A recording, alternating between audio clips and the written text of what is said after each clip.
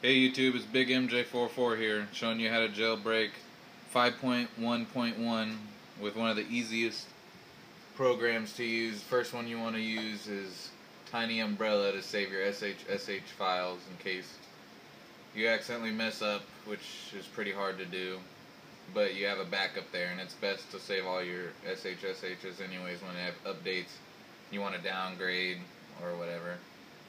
Have a IS IPSW for iPod 3, also to start fresh, and then use Absinthe, which use the latest version, which updates, which allows you to do for iPod 4S, iPhone 3, all those.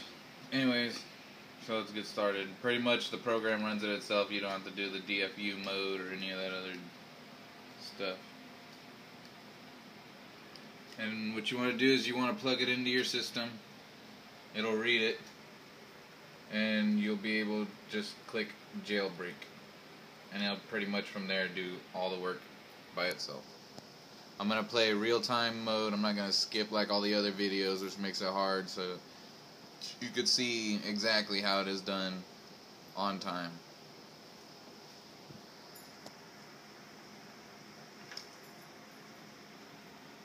Right now it's doing nothing. It's loading it up. And then it's going to show restore in progress. That's where it's loading all the files. It'll turn off, don't worry, it's normal. It'll reboot itself.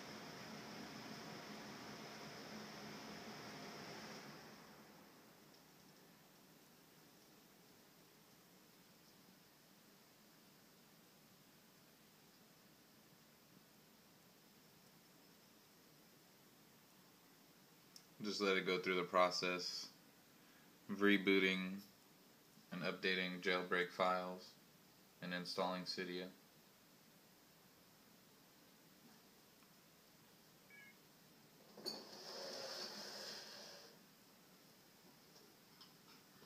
And even though it finished there and re rebooted, let it finish here before messing with it.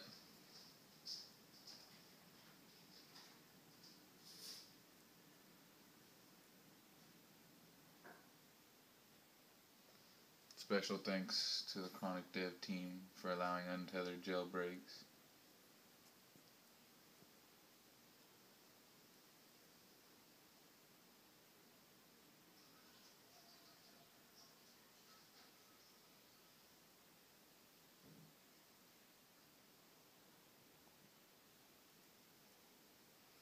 Alright, and it finally finished. Now, turn it on. And you go, Cydia. You don't have to worry about the whole holding DFU modes and other stuff like that. Cydia will upload by itself. You basically let your system do all the work for you and enjoy.